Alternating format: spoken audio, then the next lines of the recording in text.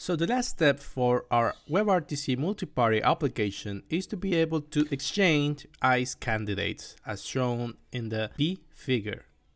So in this lesson, we will add the server-side code for endpoints to be able to receive and process ICE candidates. So let's jump into it.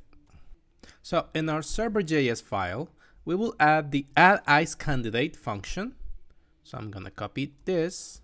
We'll go near the public route. We will create the function. Get rid of the messages because we don't need it. We don't we don't need them here. I'm gonna create a callback.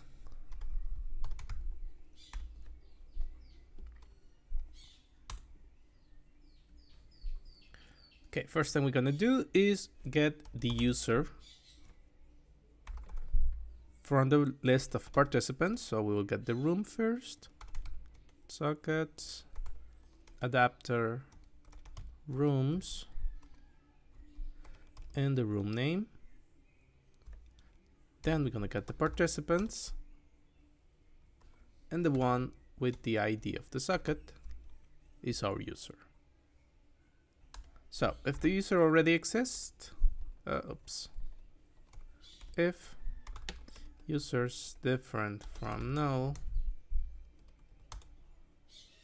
then let's create the candidate.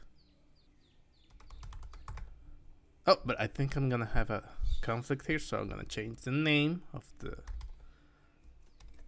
of the parameter, and let's use this one for a better understanding. So candidate will be equal to some functions that we will have to use with Kurento, which is Kurento.register.complex types and ICE candidate. Just to make sure that we're using the right format. So I'm gonna uh, I'm gonna add as a parameter the ICE candidate that we have received. Now let's uh, check if the sender and the receiver are in the same. So we're gonna use this, the user ID that we, we received and the user that ID. Um, just to make things clear here, because this could be confusing, let's rename the parameter here as sender ID, which means that this is the user that will be that will send the the media streams to the user ID.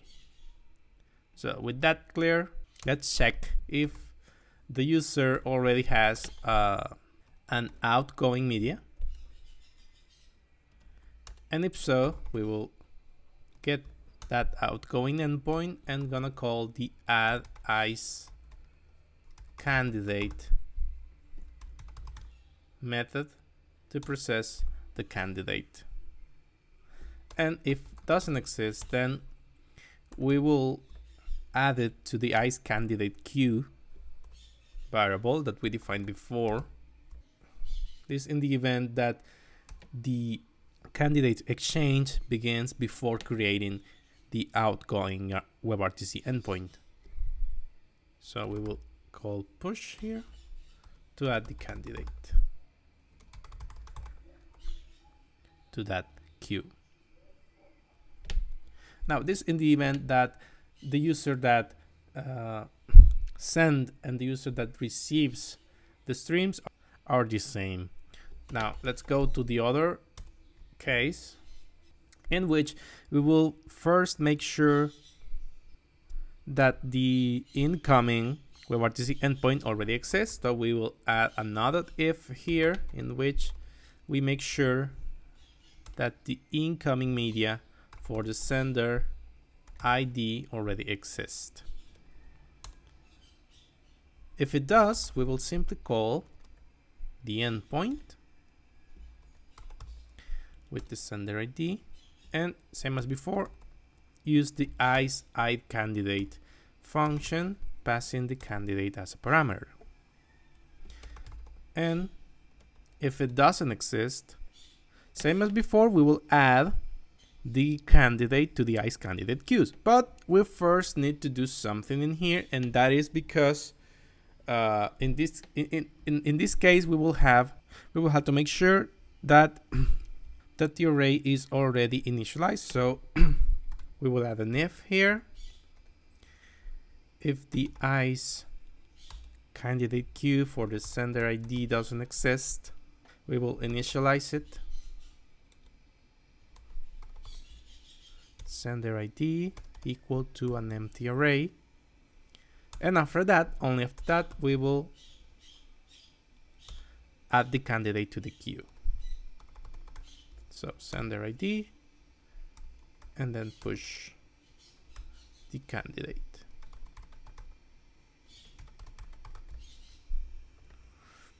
So after this, uh, let's call the callback without errors. Now, if something happened with our user, we will add an else here that will throw an error. So we're gonna call the callback with a new error, telling that um, add ice candidate uh, failed. That will make it. Now, we need to add a few lines to the client that will process the ICE candidate that the server sends. So we need to create the add, the add ICE candidate function. So I'm gonna copy this?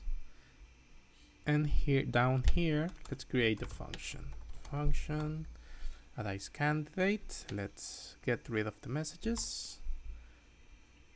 And just one line here to get uh, the user from the list of participants, user ID, the RTC peer object, we will call the add ICE candidate function and we will add the received candidate. Okay, so now we're ready to test our application. But before, let's make sure that our Kurento instance is running.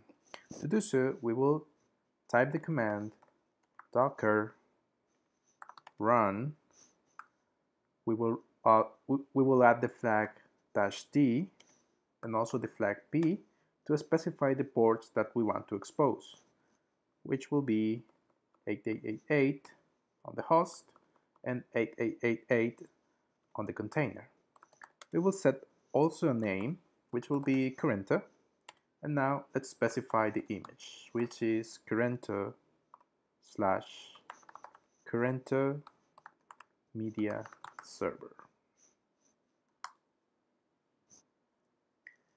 Okay, so now we can run the app by typing npm start. Now let's move to a browser and let's open a couple of tabs localhost 3000 and also localhost 3000 let's put the name here yeah this is going to be user 1 in the room WebRTC training.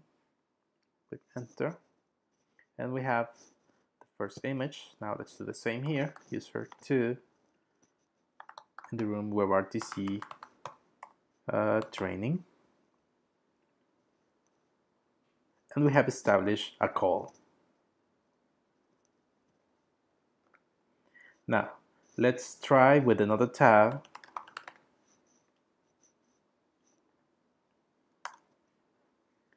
Same, user 3 on WebRTC training. And as you can see, we have a multi-party call. Okay, let's close this. And let's also stop the app. So now you have the basics of WebRTC development. Congratulations, you are ready to start working with this awesome technology. Feel free to reach me if you have any doubt. But before start creating the next big thing in WebRTC, why don't you challenge yourself by seeing if you can add some sort of authentication to secure your app. You can use, for example, Firebase for managing users. However, that's an optional uh, challenge. Now, the thing you'll probably find more interesting is playing around with the media server. So uh, while, while using Kurento, see if you can add a filter endpoint to manipulate the streams that users send to each other. Uh, take this example as a reference. So if you go to https uh, slash doc dash Kurento dot read the docs uh, dot io then you go to the English language uh, in the 6.9.0 uh, version in the tutorials and node and finally tutorial uh, magic mirror dot html